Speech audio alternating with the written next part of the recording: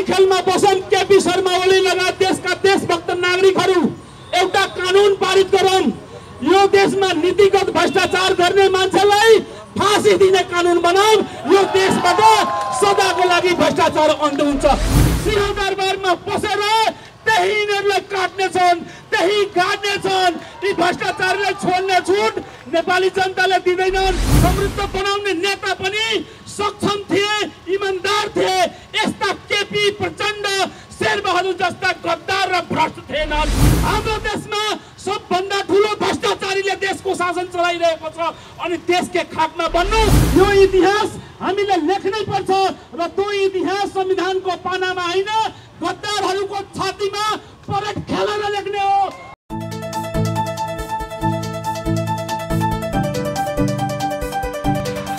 हेर्नुहोस् यो अबको क्रान्ति शताब्दी क्रान्ति बनाउनु पर्छ। यो इतिहास हामीले लेख्नु पर्छ।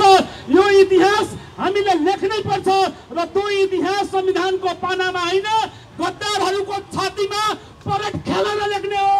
त्यो तपाईँहरू सङ्कल्प गर्नुहोस्। अबको दिन अब इमान्दार मान्छेले नेतृत्व गरून्। विश्वमा एउटा खोजी भइरहेको छ। विश्वमा हरेक मुलुकमा हरेक विकसित मुलुकमा पनि खोजी भएको छ कि सक्षम व्यक्तिले देशको नेतृत्व गरोस् अमेरिकाले त्यो सक्षम खोजिरहेछ त्यत्रो समृद्ध मुलुक भए पनि हाम्रो देशमा सबभन्दा ठुलो भ्रष्टाचारीले देशको शासन चलाइरहेको छ अनि देशकै खाकमा बन्नु विश्वका जति मुलुकहरू बनेका छन् चित्र विश्वका जति समृद्ध मुलुकहरू बनेका छन् ती समृद्ध बनाउने नागरिक पनि समृद्ध बनाउने नेता पनि सक्षम थिए इमान्दार थिए यस्ता केपी प्रचण्ड शेरबहादुर जस्ता गद्दार र भ्रष्ट थिएनन्। यी भ्रष्टाचारीहरूको दुनियाँ जबसम्म तपाईँ हाम्रा भविष्यमाथि सधैँ खेलिरहन्छन्। हाम्रा छोरा छोराछोरीहरू विदेशका भूमिमा गएर आफ्ना श्रम आफ्ना पसिना बेच्न बाध्य हुन्छन्। हाम्रा चेलीहरू साउदी कतारमा गएर शेखहरूको दास बन्न बाध्य हुन्छन्। त्यस कारणले गर्दा म चाहन्छु मेरो देशमा म बस्न चाहन्छु। म हरेक नागरिकलाई भन्न चाहन्छु अब निस्किनुहोस् अब यी दमन स्वीकार गर्ने होइन।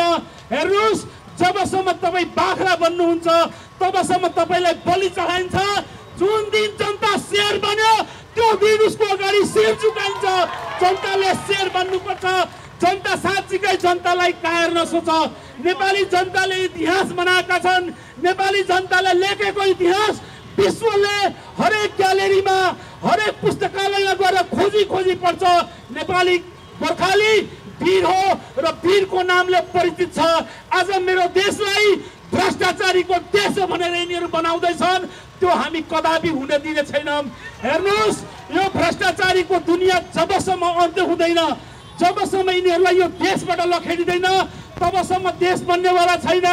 विश्वले एउटा कुरा त हेर्नुहोस् तपाईँको अहिले हाम्रो देशमा आन्दोलन के भइरहेको छ भने बङ्गलादेश जस्तो आन्दोलन रे। श्रीलङ्का जस्तो आन्दोलनले त्यस्तो हुँदैन। यो देश नेपालको जस्तो आन्दोलन हुनेछ नेपाली जनताले गर्नेछन् र भाग्ने छुट नेपाली जनताले दिने छैनन्। सिंहदरबारमा पसेर त्यही यिनीहरूलाई काट्नेछन् त्यही गाड्नेछन्। यी भ्रष्टाचारलाई छोड्ने छुट नेपाली जनताले दिँदैनन् किनभने हाम्रो पुस्ता तिनवटा पुस्ता यिनीहरू खाएका छन्। हामीभन्दा अगाडि पुस्ताको भविष्य यही नेताले खाए। हाम्रा भविष्य यही नेताले खाए मेरो छोराछोरीको भविष्य यही नेताले खाए यी तिनवटा पुस्ताको हत्यारालाई एकचोटि माफ गर्ने होइन यी तिनचोटि यिनीहरूलाई सजाय दिनुपर्छ कारागार नै बनाउने हो भने सिंह दरबार बन्ने छ सिंह दरबारलाई नेपाली जनताले कारागार बनाउने छन् त्यसकारण म केपी शर्मा ओलीलाई विनम्र आग्रह गर्छु कि साँच्चीकै देश र जनताको नागरिक प्रति जिम्मेवार भइदिउ एउटा देशको सरकारले हिजो नै तपाईँको चारजना हाम्रा देशको नागरिक सरकारतिर फर्केर आफ्नो ज्यानको गुहार लाउँदै थियो।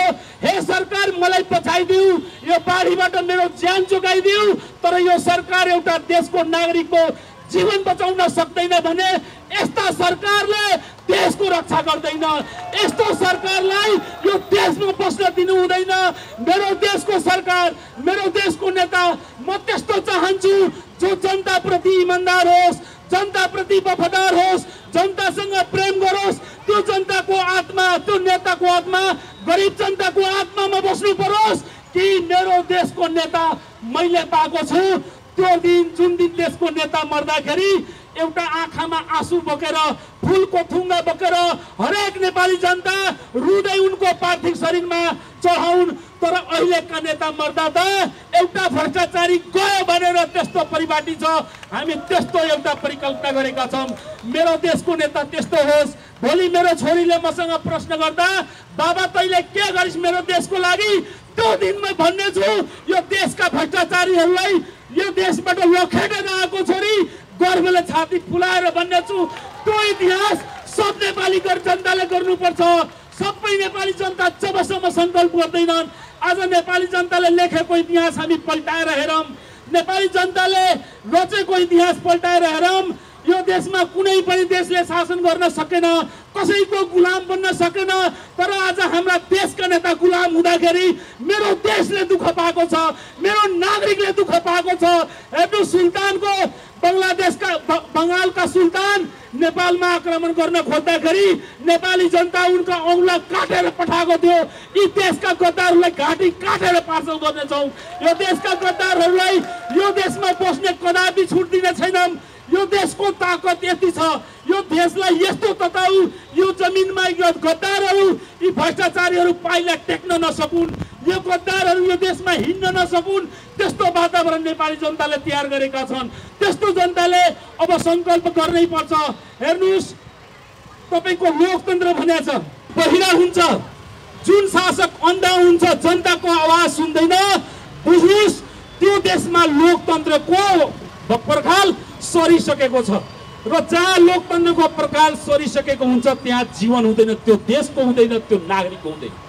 आज हाम्रो देश लोकतन्त्रको नाममा यी गणतन्त्रको नाममा तपाईँको गणतन्त्रको नाममा यी देशमा जति राज शासन गरेका छन् लोकतन्त्रको बलि चढाएर तिमीले गणतन्त्रको देवतालाई खुसी बनाउन सक्दैनौ हामी साँच्चीकै केपी शर्मा ओलीलाई मेरो आग्रह छ। तिमीले देश बनाउने नै हो भने एउटा प्रस्ताव हामीले राख्छौँ। टुडी खेलमा बसौँ केपी शर्मा ओली लगायत देशका देशभक्त नागरिकहरू एउटा कानुन पारित गरौँ। यो देशमा नीतिगत भ्रष्टाचार गर्ने मान्छेलाई फाँसी दिने कानुन बनाऊ। यो देशबाट सदाको लागि भ्रष्टाचार अन्त हुन्छ। ताकत छ केपी शर्मा ओलीसँग। आऊ तिमीलाई आज म आह्वान गर्छु।